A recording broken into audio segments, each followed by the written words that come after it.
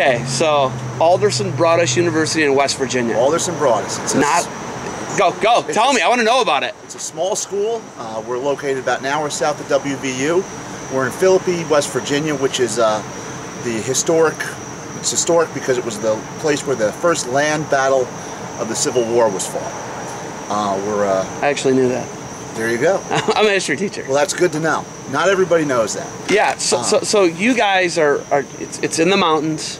We're okay? on top of a mountain. Yes. You're on top of a mountain. Um, you know, I look at West Virginia, one of the most beautiful states, obviously.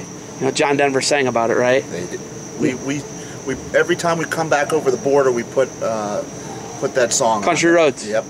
Okay, looking at it, you guys are an NCAA Division two, Mm-hmm. which I don't know if people know about wrestling. I, in my opinion, I think that's the future of college wrestling. It's Um, growing at the small schools. It's uh, you know we're an enrollment-driven school, and the schools that are adding wrestling are all enrollment-driven schools. They need to put uh, kids in classes, so that's where it's growing. So you know, like I'm from like Tiffin's, 20 minutes from my hometown, right? Okay. So they they've added since you know I left Northwest Ohio. Obviously Notre Dame College. I told you I, I drive by that all the time, right? They're the best team in the They're country. fantastic. And you know they, they get 70 guys on the roster. Yeah. They get 70 guys on the roster. You know, you guys obviously it's, if it's enrollment driven, you got to put guys in beds. That's kind of the big thing. And then like you know I've even talked to like Heidelberg. Heidelberg's enrollment driven. They're Division three, but you got to put guys on the team.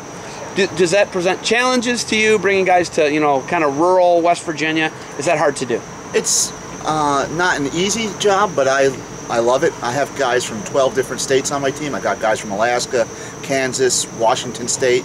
I get them from all over, Arizona, uh, Florida. I mean, I have kids from all over. Uh, so it's it presents its own challenge. But if you're looking for a small school, small classes, uh, personal attention, uh, we're an outstanding place for that. We have a, a fantastic uh, program in the uh, medical sciences. We have our own cadaver lab.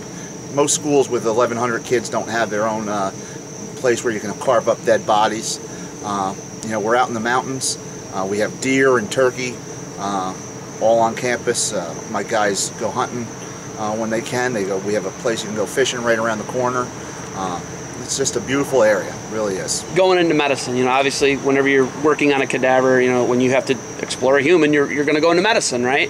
So you guys got probably pretty good medicine program or pre med, if you will. We have a, a nursing program on campus. We have a uh, physician's assistant program, which in a lot of rural states it's hard to get doctors to move there. So the PA program's a, an important one. We have uh, we're beginning an optometry program.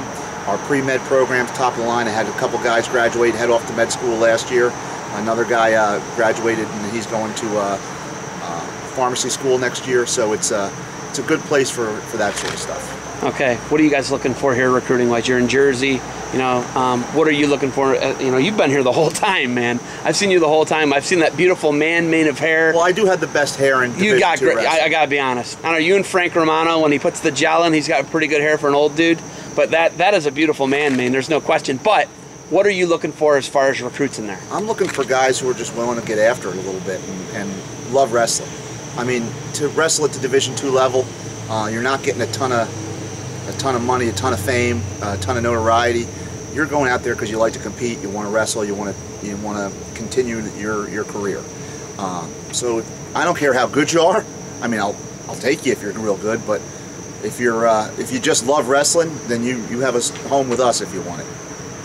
Okay, when a kid comes here and they're, they're kind of, you know, tired, they're sore, they're aching, they just ran this morning, what do you want to see out of them as far as a, guy that you're going to be recruiting and want at Alderson Broaddus?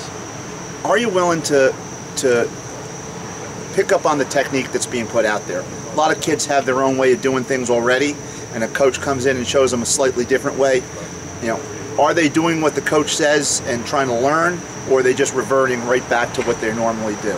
I want to see a kid who who's at least going to try and, and learn and try and see if it works out for him, and then if it doesn't, okay, that's fine. But I want to see a kid at least putting in the effort that he's going to learn what's being taught. Coach Cooperman's about to roll. I'm sure that'll be a, a hoot and very entertaining. You got anything else for me? I'm here, and uh, I'm enjoying it. And uh, thanks for taking some time out to talk to me.